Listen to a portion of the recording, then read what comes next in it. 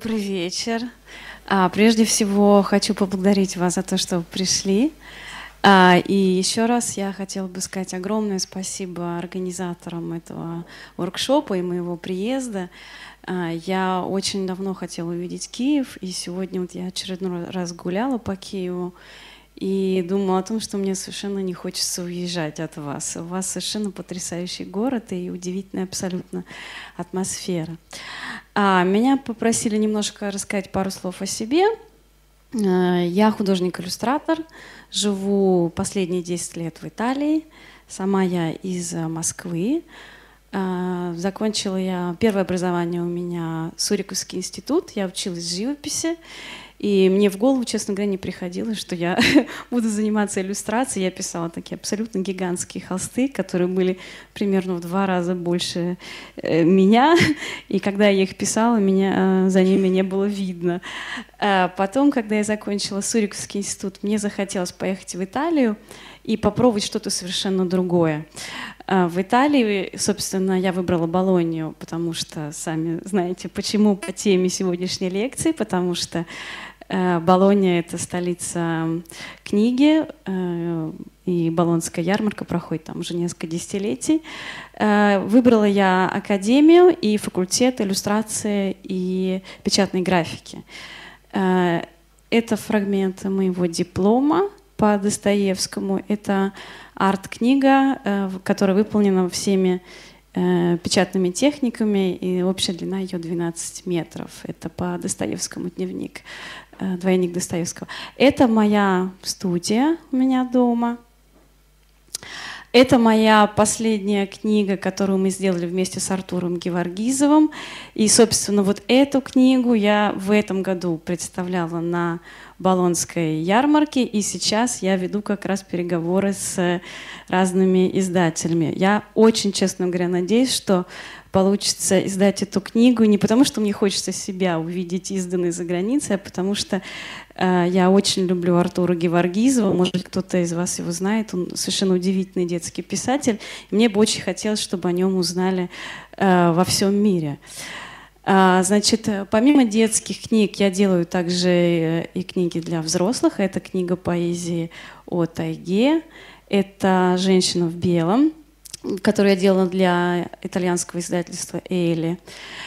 А, для того, чтобы позволить себе э, много заниматься детской книгой, мне довольно много приходится заниматься рекламной журнальной иллюстрацией для самых разных изданий. Э, хочу сказать, что мне это нравится ничуть не меньше. И, в общем-то, ну, это просто совсем разный опыт, разные сроки. Э, но это мне, для меня все страшно интересно. А, это одна из моих последних книг, которая называется «The Real Boat». Э, мы ее сделали вместе с Мариной Рамштам.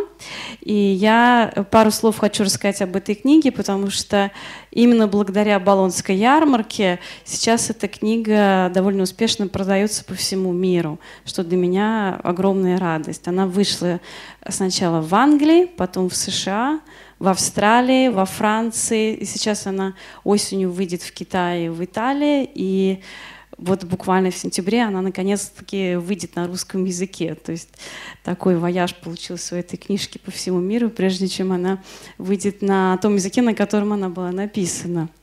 А значит, как все началось? Дело в том, что я, в общем-то, практически всю свою жизнь очень люблю корабли и постоянно их э, в разных формах воспроизвожу. То есть у меня это и живопись, и иллюстрации, и скульптуры. И меня, значит, мои знакомые сейчас спрашивают, Вика, что, собственно, что это все значит? Почему у тебя все время корабли?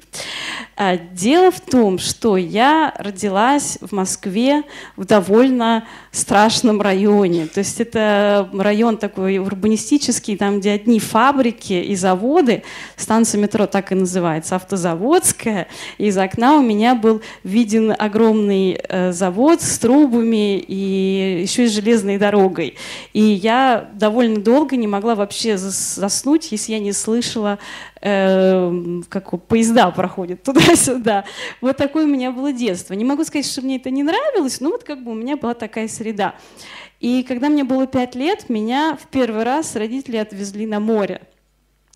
И вы знаете, у меня был настоящий шок. То есть, ну вот когда ты живешь все время в таком вот э, каменном мешке, тебе кажется, что весь мир, он вот, собственно, такой. Э, и когда я увидела бесконечное совершенно море. Еще мы приехали в сентябре, когда э, пляжный сезон закончился, и вообще никого не было. И это было какое-то бесконечное счастье. А в советское время люди ездили-то в отпуска надолго, то есть мы приехали на месяц, это не как сейчас, там на недельку ты куда-то вырываешься.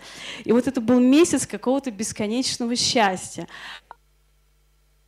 Так? Вот. А для меня еще самое удивительное было то, что люди, которые жили вот в, в том городе, куда мы приехали, что вот у них как бы все время море, то есть это вот как все время Новый год, все время какой-то праздник. Э, и вот этот восторг э, я э, в себе хранила, то есть когда мы вернулись, в, в Москву, в эту снежную, холодную, с этими заводами, э, у меня все время вот эти вот воспоминания, они меня согревали, так сказать, в холодную э, московскую зиму. И я помню, что мы нашли с мамой такую большую ракушку, и знаете, как в детстве ты ее прикладываешь и слышишь море. И вот я помню, как я сижу в кресле, смотрю вот на эти трубы из окна и слушаю шум моря это я ем сахарную вату. А, вот как я, собственно, радуюсь. А, и поэтому а, вот это сильнейшее совершенно впечатление, оно, видимо, на меня так сильно повлияло, что я потом э, только корабли, собственно, и рисовала. И я поймала себя на мысли, что каждый раз, когда я рисую море, у меня такое ощущение, что я возвращаюсь в детство и переживаю вот это состояние первой радости, которое я испытала, вот этого совершенно бесконечного счастья. И представляете, происходит такая вещь, пишет мне писатель, которая просит меня проиллюстрировать книгу о кораблях. А вся книжка там, значит, только одни корабли. Я думаю, боже мой, я первую неделю вообще не могла прийти в себя. Ну, то есть вот приходит к тебе твоя книга, и такое ощущение, что она была написана для, для тебя. Э, я, конечно же, сказала, Марина, все, я все откладываю, буду, значит, э, э, только и делать, что рисовать эту книжку. Рисовала я ее очень долго, потому что мои друзья, когда увидели мои иллюстрации, мои эскизы, они очень вдохновились и сказали, слушай, давай сделаем мультик и приложение, и вообще, чтобы все это было анимировано, что это двигалось. Я сначала очень обрадовалась, а потом очень расстроилась, потому что у меня э, большинство иллюстраций сделаны в коллажной технике, и вот как бы каждый элемент мне для этой самой затеи нужно было отдельно сканировать, вот там каждый кораблик нужно было отдельно отсканировать, вычистить фон, на, назвать слой, значит, к своим каким-то именем. И поэтому у меня, значит, работа над этой книжкой растянулась просто-таки на годы. Э, бедная Марина, значит, на все это так смотрела, ну да, о, ребята, окей. И когда мы сделали, значит, пробный э, анимационный ролик, мы сначала запустили проект на Кикстартере, Потом мы искали спонсоров, нашли таки спонсора, такого серьезного дядьку, который вроде бы как говорит, ну окей, давайте показывайте мне, значит, свои картинки, мы, значит, ему показываем, и он, значит, так смотрит и говорит, о господи, это же похоже на искусство. Ну, в общем, после этого стало понятно, что как-то у нас с анимацией, наверное, ничего не получится. Э, и я оставшиеся картинки, слава богу, нарисовала уже спокойно, ничего не, не сканируя каждую козявочку. Но все равно э, это все страшно затянулось. То есть у меня, наверное, получилось, что я на этой книжке работала больше двух лет. Значит, что произошло, собственно, когда я пришла с ней на Болонскую ярмарку? Книга эта довольно объемная, там 64 страницы. Ну, для, для нас, для как бы вот э, э, постсоветского пространства это в принципе норма, потому что мы любим книги, в которых много текста, мы обращаем внимание на текст, на его содержание, да, на его объем. И как бы вот если уж ты заплатил деньги за книжку, то там уж должно быть много всего, да, там и текста, и картинок. И я, значит, приношу свою книжку на Болонскую ярмарку. Э, слава богу, у меня было очень много встреч.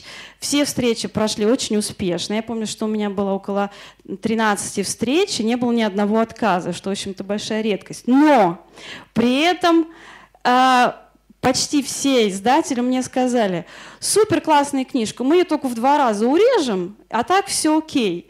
Я так как-то, значит, ну, минуточку, подождите, как это мы ее в два раза урежем? Ну и мне говорят, «А, послушайте, ну как, 500 знаков э, норма, да, у вас 64 страницы, это вообще никак. Значит, ну давайте там 30, ну 36. Я, значит, рассказываю это Марине, она в ужасе от того, что пропадут мои иллюстрации, а я в ужасе, что пропадет ее текст. И мы, значит, так долго бодались, бодались с разными издателями, вдруг нарисовалось английское издательство Темплер, очень крупное, и они так на все это посмотрели и сказали, о, а мы что, мы сделаем такую большую красивую подарочную книгу к Новому году. Я говорю, отлично. И вот, значит, это единственное издательство, которое э, согласилось на такую авантюру. Значит, почему такая ситуация сейчас на европейском э, рынке? Во-первых, потому что есть традиция так называемой книжки на один вечер. Что это такое? Это когда вы начинаете читать книжку ребенку, и вот как бы за вечер вы ее всю прочитываете. То есть почему-то есть такое вот мнение, что э, ребенку памяти, значит, на два дня не хватит, чтобы книжку прочитать. Очень странная история, э, но я думаю, что она скорее обусловлена тем, что книжка в 64 страницы очень дорогая в печати, да, а вот книжку в 36, ее, конечно, намного дешевле напечатать. Поэтому вот эта вот идея про книжку на один вечер, мне кажется, что она отсюда подтянулась. А, вот. Но, а, друзья мои, у меня, значит, к вам вот какой совет. Если вы а, планируете книгу, которая будет объемом больше 48 страниц представить на Болонской ярмарке, имейте в виду, что, скорее всего, что ее продвинуть будет очень трудно. Конечно, можно издать все, что угодно. У меня есть один знакомый агент, который говорит, ну это правда, он э, говорил про изобразительное искусство, но тем не менее, он говорит, что продать можно абсолютно все, что угодно. Главное только найти своего клиента. То есть, перефразируя, можно сказать, что главное только найти своего издателя. Но это будет значительно труднее. То есть, э, вот идеальная книжка для представления на на э, Болонской ярмарке. Это 500 знаков. Вот 500 знаков, это, чтобы вы понимали, это листика А4. И объем 36, 40, 48, вот примерно в этом диапазоне. Лучше меньше. Значит, чем меньше текста, тем лучше, чем э, тоньше книжка, тем лучше. Э, ну, поскольку тиражи в Европе небольшие, да, там, ну, 2000, 3, 5 тысяч, 10 тысяч – это уже очень большая редкость, но только крупные издательства издательства могут себе издавать э, книжки больше 10 тысяч. Поэтому вот такая история, такой совет. Потому что я намучилась страшно с этой историей. Потом, когда рассказывала это все Э, значит, Марине, она страшно удивилась, потому что она-то с этой историей никогда не сталкивалась на отечественном рынке. Значит, а что, собственно, про болонские традиции? А что я э, вижу вот последние, последние годы? Очень хорошо э, принимаются книги с какой-то яркой, свежей идеей. И вот ты приходишь на ярмарку каждый год и думаешь, боже, ну как здорово, вот сколько разных идей, сколько всего классного придумано. Ну все, наверное, вот круче, чем в этом году уже ничего не будет. Потому что, ну, вроде как уже все придумано, уже все сказано. И каждый год ты видишь все новые и новые вещи. И это, конечно, совершенно потрясающая вещь.